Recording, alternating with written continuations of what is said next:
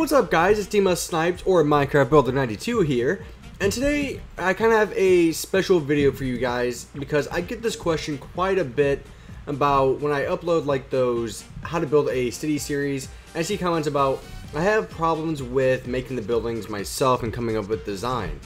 And I kind of want to show you guys how easy it can be. So I want you to look at all of these buildings and basically look at it and tell me what you think is the same. I mean, I'll tell you guys here in a second, let's take a look at all these because there is a certain pattern that you might recognize here and it actually should be pretty simple because I want you to see how easy it really is to come up with new designs using designs you've used before. So basically all these buildings here, all the windows are three wide. Now, basically I'm just trying to get you the idea that you can use the same design over and over again, but make it look different. And that's what I'm trying to get to you here. So basically, what I'm trying to get to you here is, so all these windows are three wide, but if you look, they they all have a different design.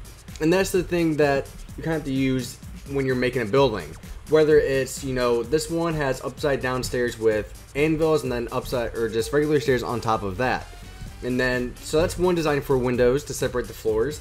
This one just has upside down stairs with stairs on top of the upside down stairs with uh, nether brick fence for you know, some extra detail. This one here just uses carpet to kind of, oh, I didn't mean to do that. Let's go time set zero.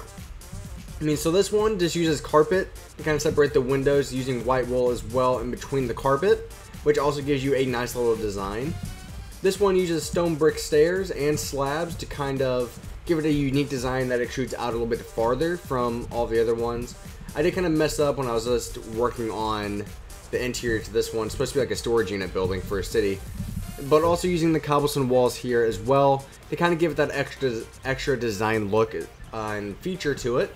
This one here, so basically this brown one here is the exact same building as this one here. But you might notice there is one big difference. So I'm trying to show you here that just changing up one thing can make a entirely new building. I added this big window here in the middle to kind of separate from the three wide windows all over the place and just having that one big window changes the entire character of the building. And then same for this one. You know basically all these are the exact same design with the same pillars going up and down. But if you look they all have different designs. This one has upside down stairs with a regular stair and upside down stair to kind of give it that unique design to it.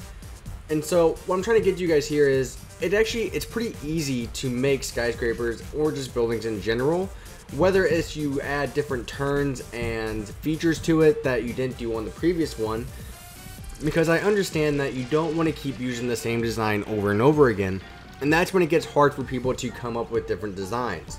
And so I kind of want to show you guys how easy it can be just by changing up a couple small details that can make a building look completely different whether it's the material that you changed whether it's the pattern that you did it in you know, there's so many endless possibilities to it. Because like if I did this, so let me take this out real quick.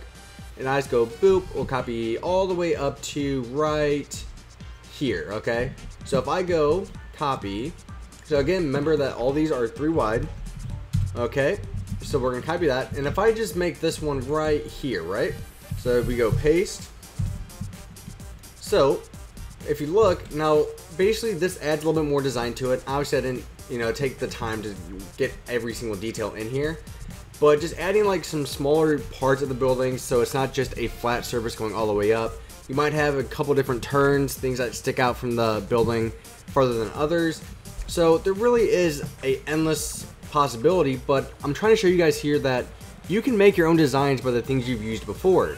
Now, it doesn't just have to be with three wide windows. You can do this with any design, like two wide windows, for example, uh, five wide. It doesn't matter. I'm trying to show you guys that just changing up a couple things can give you a entirely new building because I even like some of these and I'm to recreate some of these on my cities but just how simple they are even though they're all based on the same structure and the same design again this the small details really change how it looks whether it's the color of the building whether it's the materials I used, the different designs that kind of change up one scheme from the other.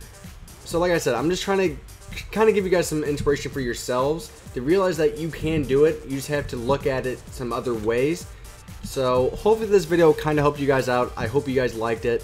So thank you very much for watching guys. It is greatly appreciated. Let me know in the comments if you want to see more videos like this because I definitely don't mind doing them for you guys because I like helping you guys out.